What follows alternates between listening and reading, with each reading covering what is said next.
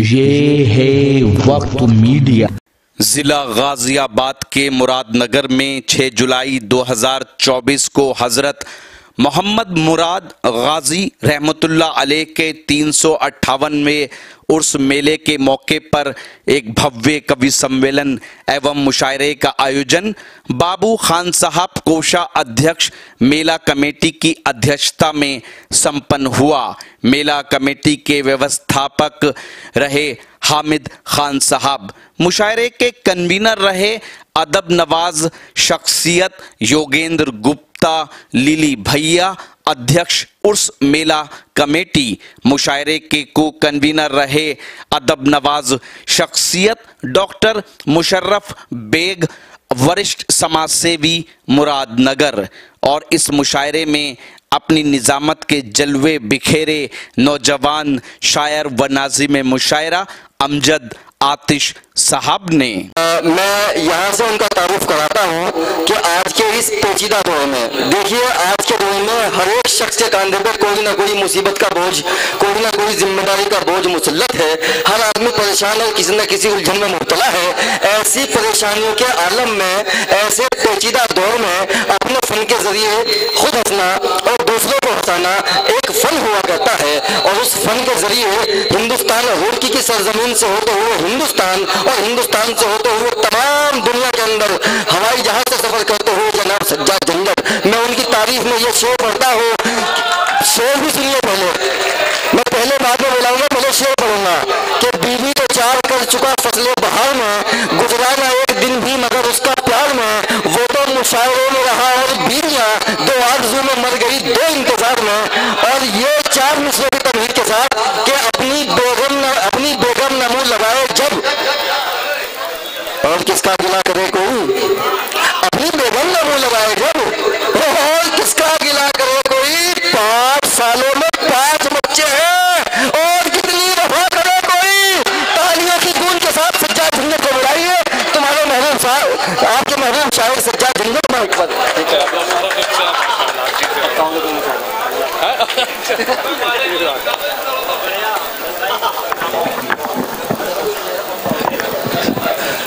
हमारे नाजिम मुशायरा। अमजद आतिश साहिब बहुत अच्छी निजामत कर रहे हैं और उनको एक फ़ायदा ये हो रहा है कि जब किसी को खूबसूरत ढंग से बुलाते हैं तो उससे पूछते हैं मुशारा पक्का हो? मेरा एक मुशारा पक्का हो गया तो कई मुशारे उनके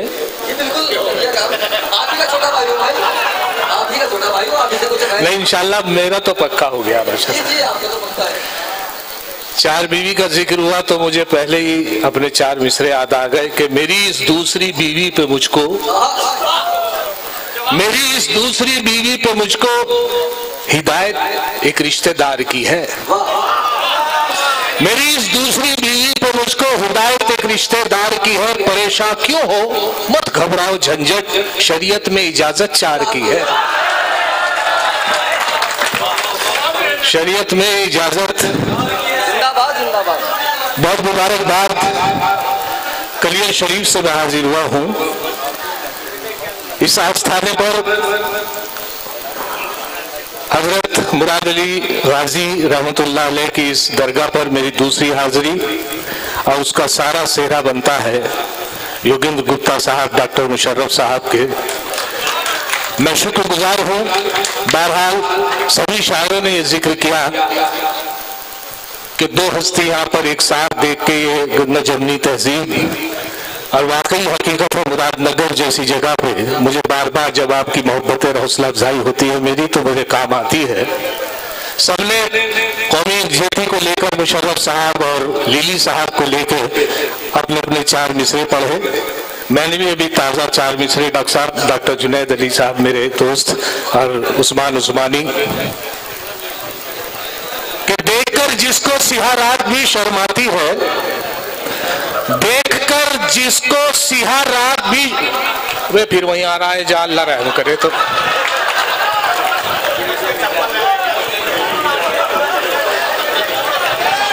यहाँ पे लीली भाई भी फेल, लेकिन माशाल्लाह वो भी जबरदस्ता साथ आए हुए हैं इनके। कि तू दंगा करिए मैं समझाऊँगा, मुशायरे की ऐसी तैसी हो जाएगी। गया भाई।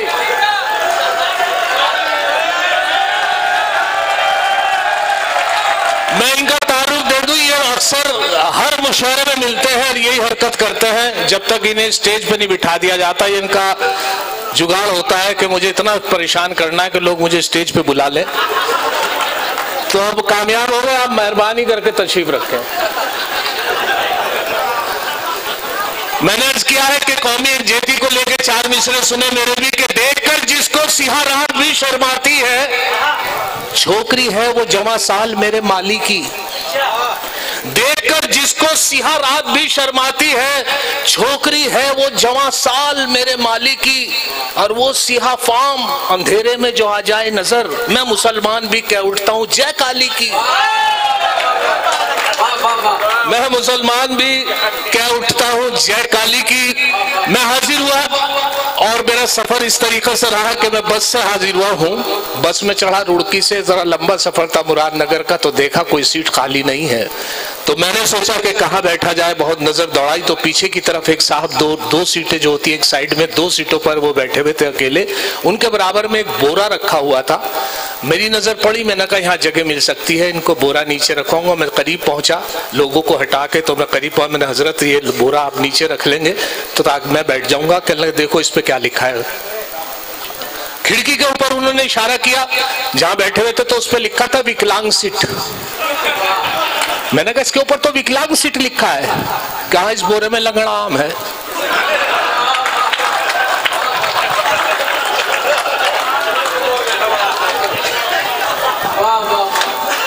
हम जहाँ जाए वहाँ लफड़ा ना हो हम जहाँ जाए वहाँ लफड़ा ना हो दोस्तों झंझट है हम भी नाम के।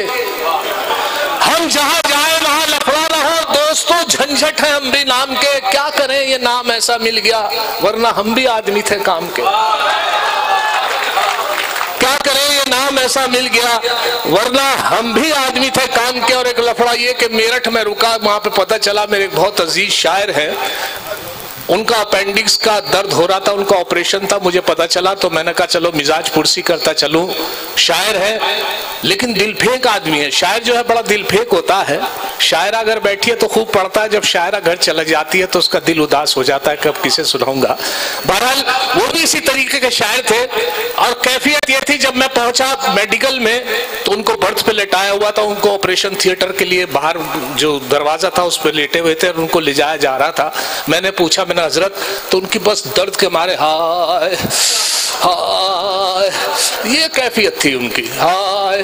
लेकिन दिल फेंक आदमी थे, देखो एकदम टोन बदल गई। जब एक खूबसूरत नर्स उनके पास से गुजरी तो कहने लगे हाय हाय।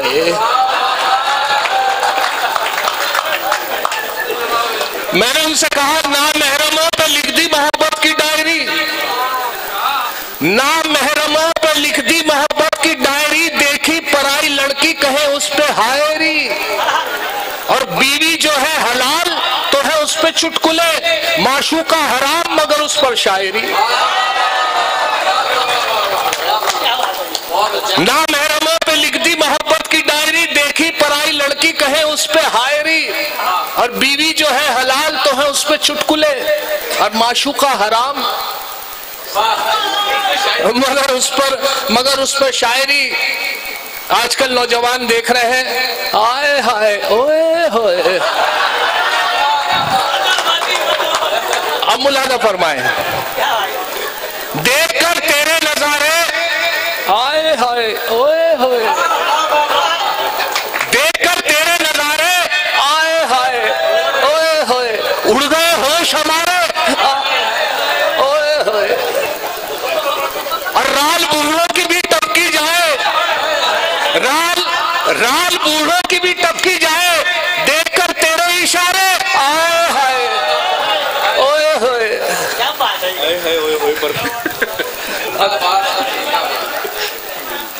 और सुने शेर, कि सैर कर ली है कई देशों की।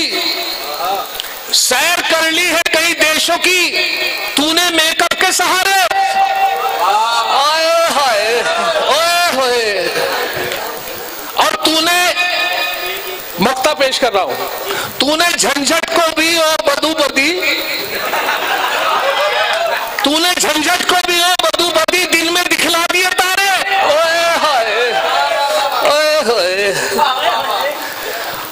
अच्छा ये होता है अक्सर मुशायरों के हवाले से कि जब मैं पढ़ता हूँ तो उसमें बहुत लोग इंजॉय करते हैं, लेकिन मैं एक मुशायरे में जब पढ़ रहा था तो हालत ये हुई कि साहब, मैं मुशायरे के हवाले से जा ही रहा था तो उस शहर में, मुरादनगर में मैं जब हाजिर हुआ तो मेरी थोड़ा सा थोड़ा सा शेविंग बढ़ी हुई थी। मैंने सोचा, मुरादनगर के लोग इतने जेंटिल हैं कि यहाँ का नाई जो है, वो इतना तेज है दिमाग का, मुझे पहली बार पता चला कि मैं बराबर में दो सीट थी उस नाई की दुकान पर मैं एक सीट पर बैठ गया, दूसरे पे वो काम कर रहा था तो एक बुजुर्गवार को बिठा रखा था, जिनके मुँह में दांत भी नहीं थे। तो अक्सर जब दांत नहीं होते शेविंग करते हुए नाई को बड़ी तकलीफ़ होती है।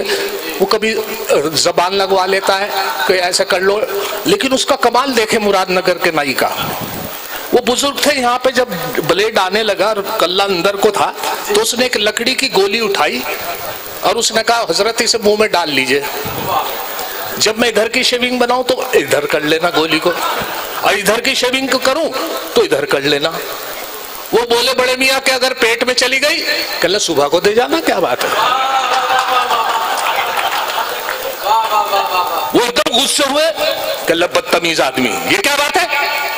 कल नहीं सब दे जा।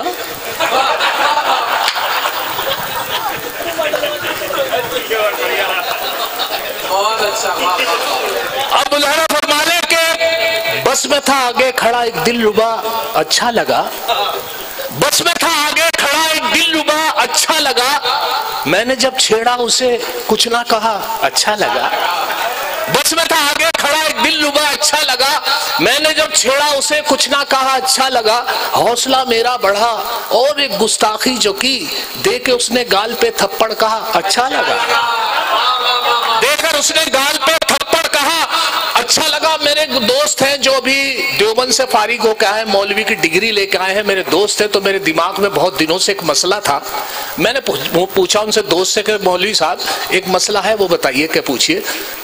मैंने कहा, अगर आदमी पूरी वज़ू से हो, और वज़ू से बाज़ार से गुजर रहा हो, और वो वो वज़ू से और किसी गैर महरम के हाथ लग जाए, किसी औरत के हाथ लग जाए, क्या वज़ू टूट जाएगी? कहले वज़ू हाथ पैर टूट जाएँगे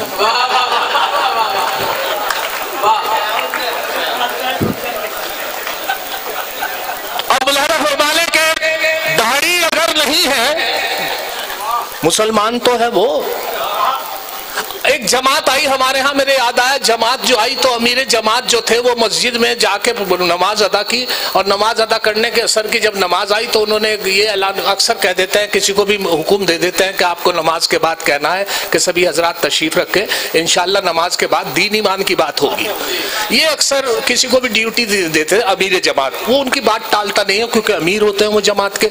लेकिन उनसे गलती हुई कि एक छोटे बच्चे को उन्होंने ये ज़िम्मेदारी दे दी कि बेटे, आपको कहना है।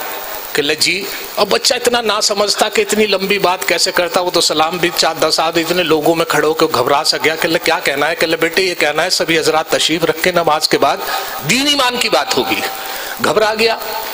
फिर उसने कोशिश की याद नहीं रहा, क्या कहना है? फिर उन्होंने मेरे जमात से एक बार और बता दीजिए। अब क्यों उन्होंने डांट के कहा? कल बेटे मैं कह रहा हूँ कि सभी हजरात तशरीफ़ रख के इंशाल्लाह दीन ईमान की बात होगी, नमाज़ समझे नहीं। अब क्यों तीसरी बार उसकी हिम्मत नहीं हुई और वो नमाज़ में यही याद करता रहा? नमाज़ भी नहीं पढ़ी उसने रुकू में, सजदे में, सब यही याद करता रहा, सभी हजरात तशरीफ़ रखे गरज ये कि कुछ याद हो गया, कुछ वो से याद नहीं रहा। तो उसने जो था एकदम जैसी नमाज़ मुकम्मल हुई, एकदम खड़ा हुआ, तेज़ी से बोला कि सभी हजरात तशरीफ़ रखे, इंशाल्लाह नमाज़ के बाद इमाम साहब के बारे में बात होगी। अब इमाम साहब घबरा गए कल मैंने क्या कर दिया भाई? दाढ़ी अगर नहीं है मुसलमान तो है वो। दाढ़ी अगर नहीं है मुसलमान तो है वो। तबलीग के जलसों में भी जाता ज़रूर है। दाढ़ी अगर नहीं है मुसलमान तो है वो। तबलीग के जलसों में भी जाता ज़रूर है। पढ़ता नहीं नमाज़ कभी वो तो क्या हुआ लेकिन जुमे के रोज नहाता ज़रूर है। लेकिन जुमे के रोज, लेकिन जुमे के रोज नहाता ज़रूर है। अभी बकरीद गई, और बकरीद में अक्सर ये होता है कि साहब, अक्सर मैंने देखा है कि साहब वहाँ पर हमारे बकरों की पीठ भरती है तो भी बकरीद में बिल्कुल ताज़ा प्रैक्टिकल लतीफ़ा ये हुआ कि साहब एक साहब जा रहे थे, पीठ की तरफ़ जहाँ पेट भरती है बकरों की, हमने सोचा इनसे यही बात कर ले, उनके हाथ में दो बकरे थे। रस्सी बंधी हुई थी, एक में काला बकरा था, एक में सफ़ेद था। हमने पूछा, हज़रत, बेच रहे हो कि जी? मैंने कितने का है? कहला, कौन सा? काला या सफ़ेद? मैंने काला बताइए कि बत्तीस हज़ार का। मैंने सफ़ेद, कहले, बत्तीस हज़ार का? तो बड़ा ताज्जुब हुआ कि इन्होंने यूँ क्यों पूछा, काला, सफ़ेद? जब दोनों एक रेट। खैर, हमने नजरअंदाज किया। फिर हमने पूछा, कितना गोश्त निकलेगा? कितना मीट निकलेगा? कि किसमें काले में या सफ़ेद में? मैंने सफ़ेद में, कहला, सोलह किलो गोश्त निकलेगा। मैंने काले में, कहला, सोलह किलो। तो यार अजीब सा लगा ये कि मैंने उनसे पूछा, मैंने हज़रत, आप ये क्यों बार बार कहते हैं काला या सफ़ेद? कहला दरअसल भाई साहब, काला बकरा मेरे चच्चा का है। मैंने कहा, सफ़ेद? कि चच्चा का? तो ये ये चीज़ें जो है अक्सर लतीफों में मिलती रहती है, जो आप तक पहुंचाता रहता हूँ। अब मुलाना फरमाए कि यहाँ से मैं चार मिसर और आपकी नज़र कर रहा हूँ कि यकीन है मुझको, वो मेरे होंगे। अभी मैं उनको पटा रहा हूँ। यकीन है मुझको, वो मेरे होंगे। अभी मैं उनको पटा रहा हूँ। अभी तो खींची है कुछ लकीरें। अभी तो खाका बना रहा हूँ। अभी तो खाका बना रहा हूँ कटी पतंग की तरह ही एक दिन खुद गिरेंगे वो छत पे मेरी। नहीं किसी पे है काट जिसकी मैं ऐसा मांझा बना रहा नहीं किसी पे है काट नहीं किसी पे है काट जिसकी अस्सलाम नहीं किसी पे है काट जिसकी मैं ऐसा मांझा बना रहा हूँ। और बकरीद की बात आई तो मैं आप सर्च कर दूँ कि नमाज़ का वक्त जो है इसलिए जल्दी रखा जाता है कि सब लोग बकरीद की कुर्बानी जल्दी कर ले। हमारे यहाँ सात बजे का वक्त। लेकिन साहब जमात के साथ नमाज़ पढ़नी चाँद रात का वक्त और उसके बाद देर से मेरी भी देर से आँख खुली क्योंकि चा, चाँद रात थी। आ, आ, आ, क्या कहने क्या कहने? भाग के नमाज़ पकड़ी, अल्लाह अल्लाह। बड़ी तेज भागा के साहब, नमाज़ जमात के साथ मिल जाए। सात बजे का वक्त है और बहुत कम वक्त है तो साहब मैं अल्लाह का शुक्र है, खैर साहब, पहली रकत से पहले लेसन से नमाज़ मिल गई और मैंने जाके बिल्कुल पिछली सब में मुझे जगह मिली और उसके बाद कोई मुख्तदी को बिल्कुल उम्मीद थी, मेरे बाद कोई नहीं आएगा। मैंने नीयत बाँध ली। एक रकत निकलने के बाद, मैंने, मुझे पहली रकत से मिली अल्लाह का शुक्र लेकिन एक रकत निकलने के बाद दो लड़के भाग भाग आए, मुझे एहसास हुआ कि दो लड़के बड़ी तेज़ी से आए, मेरी बराबर में नियत बाँध ली, हाँफ रहे, उनका सांस फूला अरे मर करे बहुत बुरा हुआ खैर साहब, वो बड़ी मुश्किल से नियत बांधी, और नियत बांधने के बाद जब नमाज़ मुकम्मल हुई, रुकू हुआ, सजदा हुआ, कायम हुआ, उसके बाद फिर वो सलाम फेरा गया, एक तरफ़ सलाम फेरा, दूसरी सलाम फेरा तो दोनों बात कर रहे थे, उनकी एक रकत निकल गई थी। उसके बाद जब उनकी बात सुन रहा था तो एक दूसरे से कह रहा था, देखा, अगर वज़ू के चक्कर में रहते तो नमाज़ निकल गई थी। तो ये ये अक्सर, ये परेशानी भी आती है। अब यहाँ से एक मतलब दो तीन शेर के इजहार आरज़ू पे। मैं पीटा गया अलग। इजहार आरज़ू पे, मैं पीटा गया अलग। और बालों का मेरे सर से सफाया हुआ अलग। और मत पूछिए कि कैसी कयामत गुजर गई। भाई जब उसका मुझको पकड़ ले गया। बहुत बढ़िया है अलग। अलग। मत पूछिए कि कैसी कयामत गुजर गई। भाई जब उसका मुझको पकड़ ले गया अलग, और देखे अच्छा एक और बात मेरी याद आई कि बकरीद का गोश्त जो है, वो अक्सर इसलिए ज़्यादा खाया नहीं जाता रोटी से तो उसको एक तरीका है खाने का कि कबाब के रूप में खाया जाता है, जैसे शामी कबाब, सीख के कबाब तो उसमें ज़्यादा आदमी खा लेता है। हमने भी ये किया, हम तीन चार दोस्तों ने शामी कबाब बनवाए, एक कोल्ड ड्रिंक की बोतल ली, दो तीन रोटी ली, और कलियर शरीफ से आगे पथरी पावर हाउस है, वहाँ पिकनिक, बतौर हमने कहा सब लोग वहीं खाएँगे, नई जगह है। वहाँ पहुँचे इतफाक देखे कि थैले में से जब हमने निकाला तो कबाब भी निकल आए और रोटी भी कोल्ड ड्रिंक नहीं निकली। क्या एकदम इतफाक था कि भूल गए। तो हमने सोचा, यार, बराबर में कलिया शरीफ है, यहीं से कोल्ड ड्रिंक तो हमारे में छोटा जो था जिसपे हुक्म चल सकता था, हमने यार तुम जाओ, तुम कोल्ड ड्रिंक लिया अब उसकी नीयत खराब थी, वो कहला तुम खा लोगे। हमने, नहीं नहीं हम हम हाथ भी नहीं लगाने के, आप ले आओ। खैर साहब, वो बहुत मुश्किल से कहने पे उठा। फिर जाने, मैंने कहा, भैया, जब कह दिया, नहीं खाने के, जब तक कोई छेड़ने का भी नहीं, कबाबों को, जब तक तुम आने के नहीं, कोल्ड ड्रिंक लेके, आप चले जाओ। बड़ा इसरार करने के बाद और उन्होंने खैर चला गया। और जो सिर्फ़ पंद्रह मिनट का काम था, आधा घंटा हो गया, उसे कोल्ड ड्रिंक नहीं लाया। चालीस मिनट हो गए, पैतालीस मिनट हो गए, पौन घंटा जब हो गया तो हमने सोचा, वो नहीं आ पाएगा, या तो घर चला गया, या वो पकड़ा गया अपने घर वालों के भी तो हमने सोचा चलो हम खा ले। मैंने शामी कबाब की टिकिया उठाई और मुँह तक ही ले गया था तो पेड़ के पीछे से निकला। ऐसे करोगे तो मैं जाने का नहीं।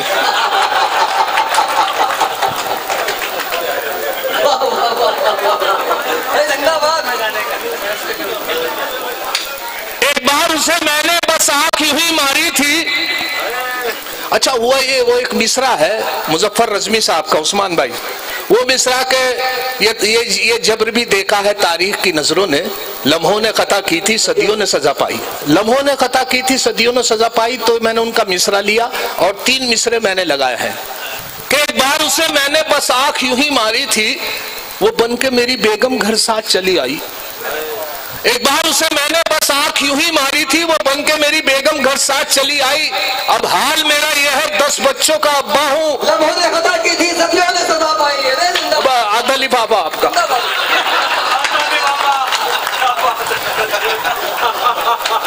लम्हों ने खता की थी लम्हों ने खता की थी सदियों ने सजा पाई। अच्छा दस बच्चों का अब्बा हूँ तो दस बच्चों में भी याद आया कि एक महाराज जो थे, वो भिक्षा मांगने के लिए गली से गुजर रहे थे। उन्होंने एक दरवाजे को नॉक किया, एक मोहतरमा निकल कर आई कि बेटा, कुछ भिक्षा। कल महाराज, मैं भिक्षा तो दे भी है, दे दूँगी, लेकिन मेरी एक तमन्ना है, मेरे पाँच साल शादी हो गए, औलाद नहीं हुई। उन्होंने कहा, बहुत अच्छे वक्त में बताया, मैं बद्रीनाथ जा रहा हूँ। बद्रीनाथ में एक मंदिर है, उसमें उनका इसी तरीके का मंदिर है, जिसके नाम का चिराग जलाया जाता है, उसके औलाद पैदा हो जाती है। मैं आपके नाम का कल महाराज, वो गए, उनके नाम का चिराग जलाया। एक साल इस बात को गुजर गया। दो साल गुजर गए दस साल बाद इतफाक से दस साल बाद फिर उनका गुजर हुआ उसी गली से। तो नहीं याद आया कि मैंने वादा किया था उसका चिराग का क्या रिएक्शन हुआ है। उन्होंने ये बात सोचते हुए फिर वही दरवाज़ा नॉक किया। अंदर से दर, कोई आवाज़ नहीं आई तो दरवाज़ा जो धक्का दिया खुद खुल गए तो दस बच्चे खेल रहे थे। दस साल में दस बच्चे खेल रहे थे उन्होंने देखा कोई बड़ा नहीं दिखाई दे रहा है ना आदमी ना औरत। तो एक बड़ा समझदार बच्चा खेल रहा था उसे बताया बेटे इधर आओ। कहले तुम्हारे पापा कहाँ गए? कहले चिराग बुझाने।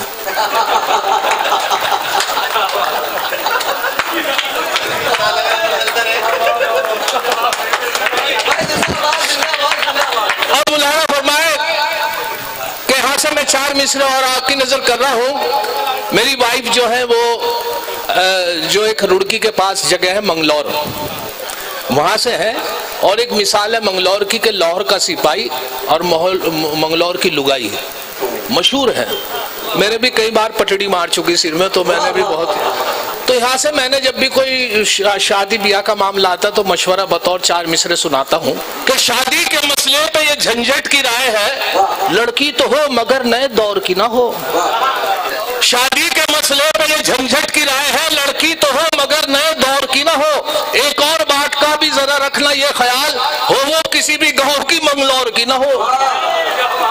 हो, हो वो किसी भी गाँव की मंगलौर की ना हो मैं शफीक मियाँ, मेरे जो वक्त मीडिया से है, आप मुरादनगर वालों को बता दूँ कि वक्त मीडिया पूरी दुनिया में इस वक्त आपको रिले कर रहा है। और ये जो है, इस तरह बढ़िया ये वक्त मीडिया के जो शफीक भाई हैं, ये आपको इतना अच्छा रिले करेंगे कि आपको सब देखेंगे। ये थोड़ी सी जो बद बद इंतजामी हुई है, जो मौलाना ने की है, लेकिन हमारे लीली भाई ने खूब संभाल के रखा। यही एक उस, उनकी पहचान है लीली भाई की, कि मौलाना परेशान कर रहे हैं, लीली भाई संभाल रहे हैं। तो ये बहुत बड़ी बात है कि अनवरना तो गुस्सा भी आ सकता था, लेकिन मैं बहुत, मैं मुबारकबाद पेश करता हूँ लीली भाई को। हाँ अर्ज़ कर रहा था वो अभी मेरे अमजद भाई ने बहुत अच्छी बात याद दिलाई कि वो लीली भाई से मेरी बात हुई तो मुझे आवाज़ आई मैंने इनसे रास्ते बात कही तो इन्होंने "हाँ, और गला बैठा हुआ इनका बहुत बुरी तरह मैंने कहा भाई ये बोले कि मैं मैसेज कर दूँगा आवाज़ आवाज़ नहीं निकल रही मैसेज से बात हो रही थी अब माशाल्लाह इन्होंने करारे किया इनकी वाइफ ने कोई दवाई दी तो वो ठीक हो गए हैं माशाल्लाह मैं मुबारकबाद पेश करता हूँ। हुआ ये कि साहब जब गला बैठ जाता तो बड़ी दिक्कत मेरे साथ भी यही हुआ एक रात मेरा गला बैठ गया सुबह मेरा मुशायरा दिल्ली था तो मैंने सोचा क्या किया जाए? सारी रात गरारे करता रहा। कभी चाय की पत्ती के, कभी नमक के पानी के। मैं वाइफ वाइफ उठी के लिए क्या परेशानी है? गला बैठ गया, क्या करूँ? वो बोली कहने लगे, बराबर में डॉक्टर साहब का मकान है। आप वहाँ से कोई भी ट्रीटमेंट ले लीजिए। हमारे अपने ही डॉक्टर है, कोई परेशानी नहीं। रात का डेढ़ बजा, अंधेरा गुप गली में और तीसरा, चौथा मकान डॉक्टर साहब का। मैं उनके कहने से निकला, अपनी वाइफ कर मैंने दरवाज़ा जैसी नॉक किया, बजाया जाके। तो वो डॉक्टर साहब नहीं आए, उनकी खूबसूरत बीवी निकल के आई। मैंने उनसे अर्ज़ किया, गला तो बैठा था, आवाज़ नहीं निकल रही थी। मैंने उनसे पूछा, डॉक्टर साहब है? वो बोली, नहीं है, आ जाओ।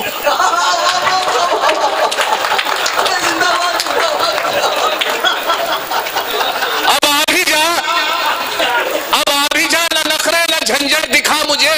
अब आ भी जा, ना नखरे, ना झंझट दिखा मुझे। ठंडी हवा है, आज ये मौसम भी सर्द है। अब आ झंझट दिखा मुझे, ठंडी हवा है, आज ये मौसम भी सर्द है। ला सकता हूँ मैं चाँद सितारे भी तोड़कर, लेकिन मैं क्या करूँ? मेरे घुटनों में दर्द है। लेकिन मैं क्या करूँ? लेकिन मैं क्या करूँ? मेरे घुटनों में दर्द है। उसके बावजूद इलेक्ट्रॉनिक कंप्यूटर दौर, मैंने अपनी वाइफ को रिझाने के लिए चार मिसरे कहे, क्योंकि आजकल मोबाइल का जमाना है और मोबाइल के हवाले से मैंने चार मिसरे उन्हें सुनाए, मैंने शायद खुश हो जाए। उसके बाद उनका जवाब मिला, ये चार मिसरों में मुलाजा फरमाए। कि दिल है मेरा मोबाइल, मैंने उनसे कहा कि दिल है मेरा मोबाइल, तुम सिम हो मेरी जान। दिल है मेरा मोबाइल, तुम सिम हो मेरी जान। है लाइफ टाइम रिचार्ज ये मोबाइल हमारा। वो बोली, अगर सच है तो बस इतना बता दो, मोबाइल डबल सिम तो नहीं है तुम्हारा। दिल है मेरा मोबाइल, तुम सिम हो मेरी जान। है लाइफ टाइम रिचार्ज ये मोबाइल हमारा, वो बोली, अगर सच है तो बस इतना बता दो। मोबाइल डबल सिम तो नहीं है तुम्हारा। और ये लॉकडाउन जो गुजरा है, उसमें हालत ये रही कि हमारे घर में, किसी के भी घर में कोई फंस गया, आके मेहमान फंस गया, निकला नहीं। यहाँ तक कि मेरे घर में पंद्रह दिन तक एक साहब आए, आकर फंस गए। और मेहमान नवाजी के लिए कुछ नहीं था। सब जैसे चिकन, मटन वगैरह की सब दुकानें बनती मेहमान नवाजी इसी से हो सकती थी। फिर भी मैंने क्या किया? मैंने उनके लिए क्या करता? सुबह को उड़द की दाल की खिचड़ी से उनका नाश्ता कराया। दोपहर को मूंग की दाल की खिचड़ी उसके बाद साब उड़द की दाल उसके बाद दाल और लौकी, चने की दाल के साथ। फिर उसके बाद दाल। गरज ये कि जो भी दालें थी, उनकी खिदमत करता रहा। इतफाक देखे कलियर शरीफ का मेला आने वाला था। चाँद की तारीख का अंदाज़ा नहीं हो रहा था। वालिद साहब साथ बता रहे थे, बारह रबी उब्बल का मेला भरता है बड़ी रोशनी का, बारह रबी उब्बल को। तो हम सोच रहे थे, कोई आठ बता रहा था, कोई दस बता रहा था, बड़े भाई नौ बता रहे थे। बारह तारीख का पता नहीं चल रहा था तो हमने मेहमान को मुखातिब किया।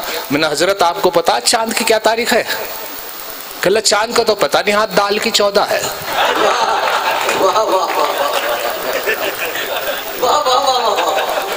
और जब उन्होंने इस तरीके से एहसास दिलाया तो उनकी मेरी भाई बोली के तो बहुत बुरा हुआ, इन्हें दाल खाते खाते चौदह पंद्रह दिन हो गए।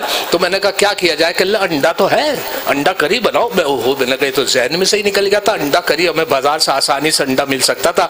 अंडा करी मैंने बहुत अच्छे तरीके से अंडा करी बनाई, और उनके सामने पेश की। मैंने सोचा, आज मेरी बड़ी तारीफ़ होगी, लेकिन मेरी बदकिस्मती, मेरी किस्मत खराब, कि अंडे से या तो उन्हें एलर्जी थी, या डॉक्टर ने मना कर रखा था, या एसिडिटी बनती थी, जो भी बात थी, उन्होंने जैसे अंडा करी, सामने देखे उनके चेहरे के तासुरात बदल गए तो यहाँ से चार मिसरे मेरे पास हुए। उसी वक्त तो आप मुलाजा फरमाए कि अंडा करी को देखकर मेहमान ने ये कहा, अंडा करी को देखकर मेहमान ने ये कहा माँ बाप से भी इनकी करा देते मुलाकात। अंडा करी को देखकर मेहमान ने ये कहा माँ बाप से भी इनकी करा देते मुलाकात। झंझट ये बोले, इनके तो माँ बाप नहीं है। फ़िलहाल इन यतीम के ही सर पे रख दो हाथ।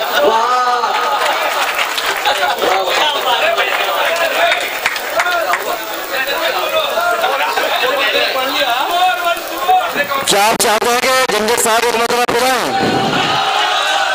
जंजट साहब, ये दीवाने हैं आपके। आपसे एक मतलब फिर बसत खुलूस एहतराम इल्तमास से कि आप तशरीफ़ लाएँ। एक बार फिर मैं इनके आज़ाद में शो कर दूँ। लगा के रखता था मैं जिसको अपनी जान के साथ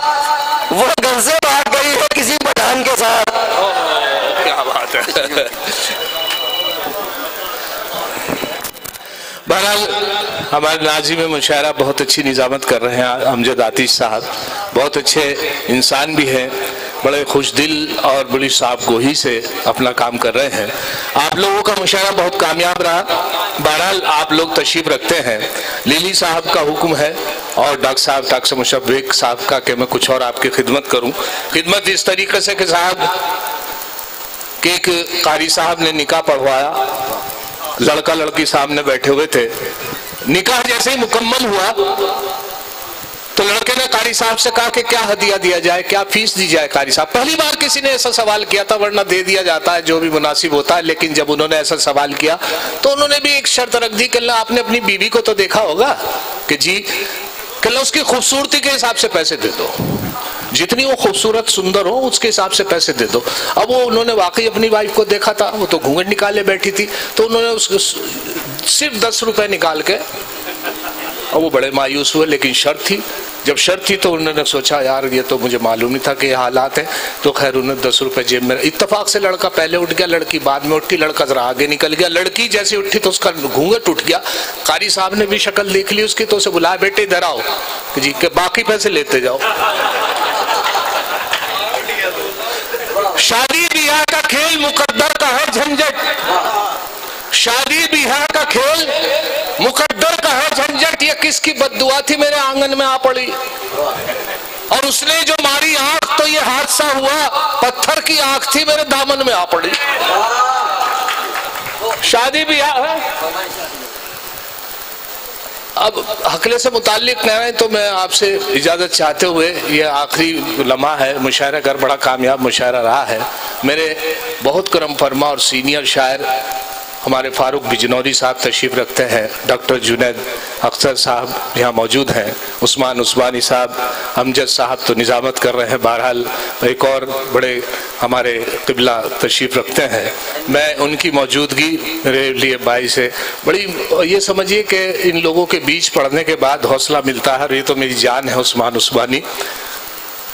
अब ये अर्ज़ कर रहा था कि मैं हालात ये थे कि डॉक्टर मुशर्रफ साहब डॉक्टर जुनेद साहब, ये तो सच में डॉक्टर है, लेकिन आजकल मुशायरे के हालात ये हैं, किसी ने मेडिकल स्टोर खोल रखा है, वो भी डॉक्टर और जो कुछ भी कर रहा है, ज़रा सी रिप्रेजेंटेटिव है किसी भी दवाई का, वो भी डॉक्टर, सब शायद डॉक्टर तो यहाँ से चार मिसरे सुने, क्या आप लोगों को शायद मोतबर दिखने लगूं? ये भी हो सकता है, अच्छे रेट में बिकने लगूं। आप लोगों को शायद मोतबर दिखने लगूं, ये भी हो सकता है अच्छे रेट में बिकने लगूं, सिर्फ़ झंझट नाम से इज़्ज़त नहीं मिल पाएगी। सोचता हूँ मैं खुद को डॉक्टर लिखने लगूं। सिर्फ़ झंझट नाम से इज़्ज़त नहीं मिल पाएगी। सोचता हूँ मैं भी खुद को डॉक्टर लिखने लगूं और ये भी देखें मैं जब एक बार टीवी के प्रोग्राम में गया तो वहाँ का जो हालात थे, वो तो एक लेडी, एक लड़की थी, एक लड़का एंकरिंग कर रहे थे और उनके हालात ये थे कि कार में आए थे। मैं तो बड़ी मुश्किल से बस में, पसीने में सफ़र करके गया था और हालत ये थी, वो ज़िंदगी को ज़िंदगी कह रहे थे, गज़ल को गज़ल कह रहे थे। तो आते हुए चार मिसरे हुए कि टीवी हो, रेडियो हो या हो कोई मुशायरा टीवी हो, रेडियो हो या कोई मुशायरा सबको मिला है काम तो सूखा ही फिर है। और लोगों ने गज़ल नजम से कोठे बना लिए। तू अपना तलफुज लिए भूखा ही फिरे। बहुत अच्छा अच्छा अच्छा टीवी हो रेडियो हो या कोई मुशायरा सबको मिला है काम तू सूखा ही फिरे है।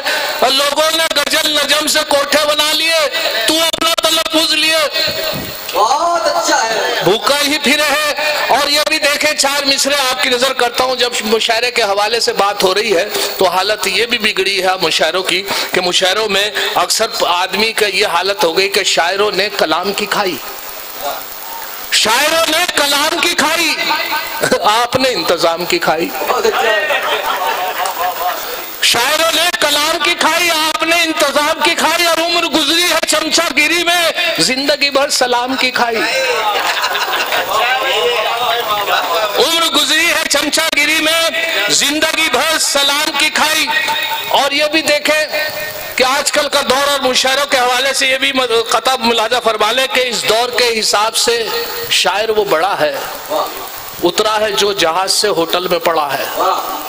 इस दौर के हिसाब से शायर वो बड़ा है, उतरा है जो जहाज़ से होटल में पड़ा है।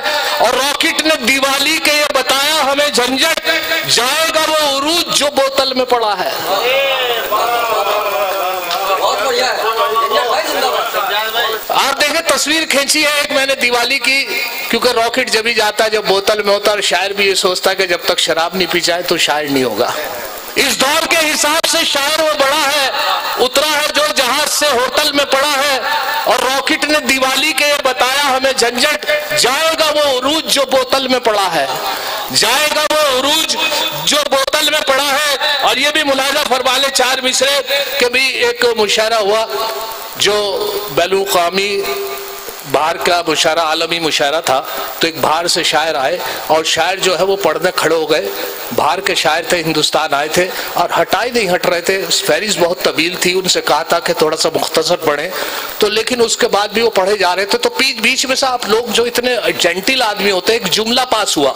वो जुमला जब उन साहब ने पास किया, मुझे बहुत अच्छा लगा। उसे मैंने चार मिसरों में कराया बोला था डॉक्टर साहब। जुमला था, एक शायर बाहर से आया हिंदुस्तान में एक शायर बाहर से आया हिंदुस्तान में, एक छेड़ी नज्म लंबी, उसने लंबी तान में। एक घंटे बाद ये पंडाल से आई सदा, खत्म ना हो जाए वीज़ा, ये भी रखना ध्यान में।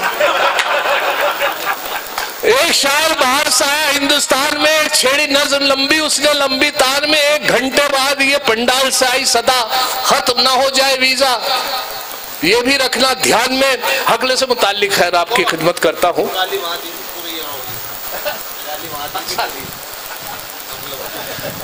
अब हकले से मुतालिक ये मैं आपसे कर्ज कर दूँ बात कि हकला जो होता बड़ा सीधे किस्म का आदमी होता है। वो इसलिए कि अपनी बात पूरी नहीं कर पाता।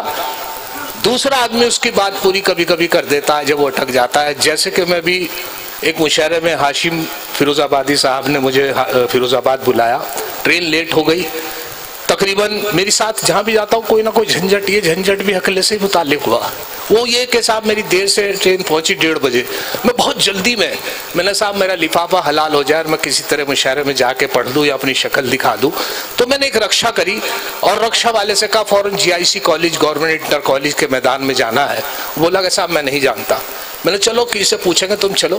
खैर, वो हम बैठे उस गाड़ी में, उसमें रक्षा में, और उसके बाद एक साहब अंधेरे से गुजर रहे थे उस सड़क पे। मैंने उन्हें मुखातिब मैंने एक मिनट, मैंने, भाई साहब, ये बोले क्या मैंने कहा, वो जीआईसी कॉलेज कहाँ है? कल लगा अरे मैंने भाई साहब मेडिकल स्टोर के पास? कह लगे, नहीं नहीं नहीं नहीं। अरे बा मैंने म्यूनिसिपल टंकी के पास कल लगे नहीं नहीं नहीं। अरे भाई, मुम मुम मुम। मैंने, भाई साहब, आप, मैं मैं करे जा रहे हैं, कुछ बोलिए तो। कल, पहले बोलने तो दे।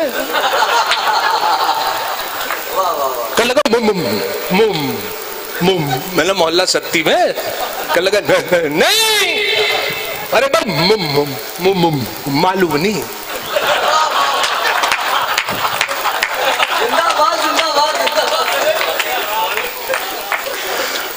अच्छा ये जो आइडिया मिला है हकला कैसे बोलता है? मेरे एक दोस्त है, वसीम। है? हकले भी है? नहीं हकले नहीं, वसीम होंगे बस। वसीम साहब जो मेरे साथ रहते हैं, वो हकला के बोलते हैं। उनसे मुझे आइडिया मिला, हकला कैसे बोलता है? तो उसकी कॉपी जो भी है, वो मैं कर, उनसे आइडिया मिला तो मैं पहुंचाता हूँ। लेकिन वो इतने सीधे किस्म का आदमी है कि मैं जब घर से निकला, एक हमारे यहाँ चौराहा चौपला है, होटल का, वहाँ पे अक्सर लोग रात तक रहते हैं। तो उसमें मैंने भीड़ देखी, मैंने भीड़ देखी, मैंने अल्लाह रहम करे तो मैं पहुँचा, वहाँ भीड़ में देखा कि वाकई मेरे दोस्त से किसी का झगड़ा हो गया। वसीम साहब का, वो एक तरफ़ खामोश खड़े हुए वो बदस्तूर गाली दिए चला जा रहा। बहुत गंदी गंदी गालियों से दे रहा है और वो वसीम साहब एक तरफ़ खामोश खड़े हुए, बेचारे अकेले थे क्या करते? तो मैंने हौसला अफजाई, मेरा फ़र्ज़ बनता था। दोस्त होने के नाते मैंने कहा, वसीम भाई, आप भी दो गाली। गाली मैंने कहा, दो यार, जब मैं खड़ा हूँ तो घबराने क्या बात है? खैर साहब, उन्होंने गाली नहीं दी और एक तरफ़ को चल दिए। मैं उनके साथ साथ अगले चौपले पे जाकर उनकी आवाज़ निकली, बोले उल्लू का पट्टा। मैंने आज झगड़ा वहाँ हुआ। गाली यहाँ दे रहे हो। और जब मैं साथ था तो घबराने क्या बात है? ये ये ये ये, ये बात नहीं है। मैंने कह मैं कह शुरू तो वही करी थी नि, नि, नि, निकली यहाँ अच्छा बहुत अच्छा है अच्छा एक और बात सुन ले। वो भी मुझे मुझे बहुत पसंद है आपको शायद पसंद आए कि एक साहब हकला के बोलते थे। बहुत हकले थे और उनकी शादी हो गई। और शादी की पहली रात जब वो अपनी वाइफ के कमरे में पहुँचे तो वो लंबा सा घूंघट निकाले बैठी थी बेड के ऊपर जैसे दुल्हन बैठती है। और वो पहली रात जब थी तो वो करीब पहुँचे और वो बैठने की इजाज़त मांगने लगे अपनी वाइफ से। अकेले थे बहुत परेशानी का मामला था और वो उसका सिचुएशन बहुत खराब थी कमरे की। वो पहले बैठने की इजाज़त मांगने लगे जब कोई जवाब नहीं मिला तो वो खुद ही बैठ गए कि मैं खुद ही उसके बाद साहब वो घूंघट जो निकाले बैठी थी उसे हटाने के लिए कहने लगे बैठने के बाद। अब क्या सिचुएशन थी ये मुलाजा फरमाए। करीब पहुँचे बैठकर उनसे मुखातिब होकर बोले कि तु, तुम तु, तुम तो तू तुम कहो तो बैठ जाओ। जब कोई जवाब नहीं मिला फिर कोशिश करी कि अरे भाई तो तुम तुम तु, तुम कहो तो बैठ जाओ। जब कोई जवाब नहीं मिला खुद ही बैठ गए और बैठ के कहल गए लो लो लो लो लो लो लो लो हम खूब खूब बैठ गए। अब घूंघट टटाने के लिए कहने लगे कि अरे अरे भाई ये जो घूंघू घूंघू घूंघू घूं हटा अब कोई जवाब नहीं मिला वो घूंघट हटाने का फिर मुखातिब हुआ कहने लगे अरे भाई ये जो हटा दो! घूंघट के एकदम अंदर से आवाज़ आई कि तु, तु, तु, तु, तु, तु, तु, तुम ही हटा देते कहने लगे कमाल हो कमाल हो गए तुम तो मेरी बहन निकली। अब यहाँ से एक गज़ल सुनाता हूँ हकले से मुतालिक। मतलब मुलाजा करें। वसीम साहब इश्क करते थे और इश्क जो थे उनका इतना परवान चढ़ गया कि साहब वो बड़ी शादी भी हुई और शादी के बाद जब उनकी वाइफ जो थी इतनी मोहब्बत करते थे जब वो अपने मायके चली गई तो शायरी भी थी शायर भी थे वो तो उन्होंने मतला सुनाया यहाँ से गज़ल सुने। वो अपनी वाइफ के लिए कह रहे थे कि अब अभी जा है, है घर में अंधेरा तेरे बगैर। अब अभी जा है घर तेरे बगैर और सु, सु, सु, सूनी पड़ी है आज ये खटिया त- त- तेरे बगैर नूरुन्निसा तू तू तू तू तू तू तू तू जब से गई अपने मायके नूर नूरुन्निसा तू तू तू जब से गई अपने मायके बेनूर हो गई मे- अपनी आदत दे। अच्छा अब शेर मुलादा फरमाए। तकिया भी टेंशन में है बिस्तर भी है उदास। तो, तकिया भी टेंशन बिस्तर भी है उदास। अच्छा, अच्छा लगे ना रात में सोना।